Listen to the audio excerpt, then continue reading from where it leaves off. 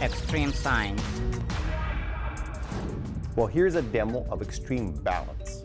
Fairly simple. I have a metal wire here, and I balance it on this white stick. And then I want to balance the white stick on my finger. And let's change it, let's actually balance it on another stick. Fairly straightforward.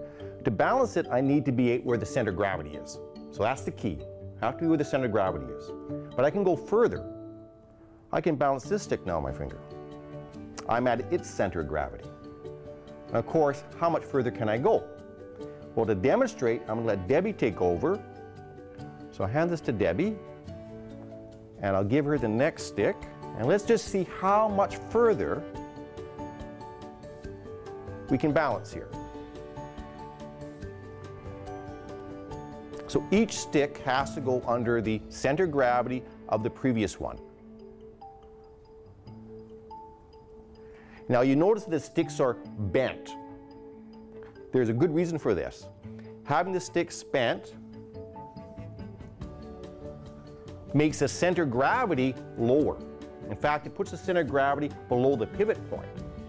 makes it more stable. If they weren't bent, you could still do it, but it'd be much, much more difficult. And I've tried it. You can get so far, and then anything at all sets it off. But we can see with the center of gravity low, and Debbie being very, very careful,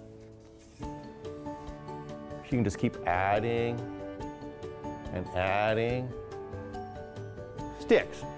Of course, another issue would be each stick is heavier than the first ones. So she adds, the whole thing gets heavier and heavier, so there is a limit there.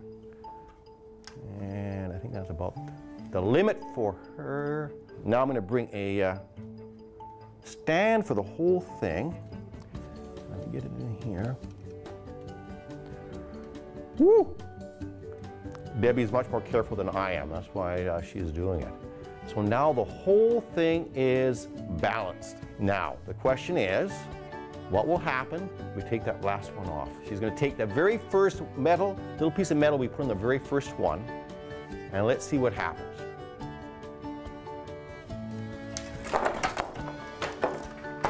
So it has to be perfectly balanced. Even the slightest change in the weights of any of the sticks, you can't do it.